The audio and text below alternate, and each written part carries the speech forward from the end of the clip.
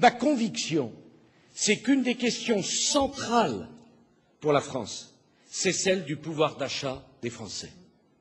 Les salaires sont trop bas, les revenus sont trop faibles. Et moi, je veux parler à la France qui travaille, celle qui a un métier, qui a un appartement, qui a une famille, qui a une voiture, qui travaille dur et qui trouve pourtant qu'on n'arrive pas à joindre les deux bouts. C'est à cette France-là que je veux m'adresser.